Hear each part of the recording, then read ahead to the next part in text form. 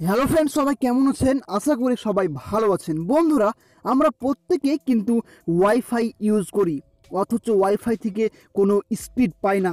Hello friends আজকের ভিডিওটিতে আমি আপনাদেরকে অ্যান্ড্রয়েড ফোনের এমন একটি সেটিং দেখাবো, যেটি যদি আপনি অন করেন, তাহলে এবার থেকে আপনি আগের তুলনায় অনেক স্পিড পাবেন ওয়াইফাই একদম দারুণ সেটিং তো চলুন সেই সেটিংটি আপনাদেরকে দেখিয়ে দেবো।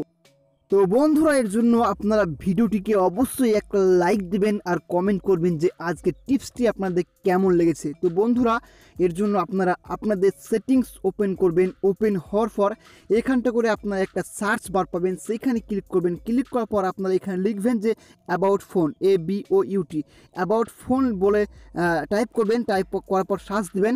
সার্চ দিলে এরকম একটা অপশান চলে আসবে আপনার সামনে। তো ক্লিক করবেন ক্লিক করার পর নিচে নামবেন, নিচে নামিয়ে এখানটা করে একটা অপশান পাবেন যে এম আই ইউআই ভার্সান বা বিল্ড নাম্বার এই যদি আপনাদের বিল্ড নাম্বার লেখা থাকে, তাহলে সিম্পলি আপনারা এখানে সাতবার ট্যাপ করবেন। সাতবার ট্যাপ করার পর ব্যাকে চলে আসবেন। ব্যাকে আসার পর এখানটা করে আপনারা ওয়াইফাই একটা অপশান পাবেন। সেইখানে ক্লিক করবেন। ক্লিক করার পর আপনারা অ্যাডভান্স সেটিং অপশান পাবেন।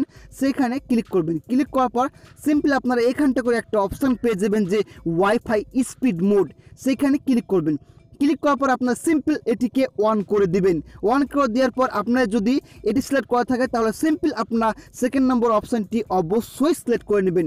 এটি সিলেক্ট করলে কি হবে? এবার থেকে আপনার ফোনে আগের তুলনায় ওয়াইফাই অনেকটা নেটওয়ার্ক পাবেন এবং ওয়াইফাই অনেকটা স্পিড পাবেন। এটা আপনাদেরকে বলতে পারি। তো আশা করি ভিডিওটি ভালো লেগেছে। সকলকে শেয়ার করে জানিয়ে দিবেন। আর আপনার মোবাইলে যদি না হয়, তাহলে অবশ্যই কমেন্ট করবেন। আমি সেটিংটি আপনাদেরকে আবার কমেন্টে রিপ্লাই করে বলে দেবো। ভালো লাগলে লাইক দিবেন। আর থ্যাংক ইউ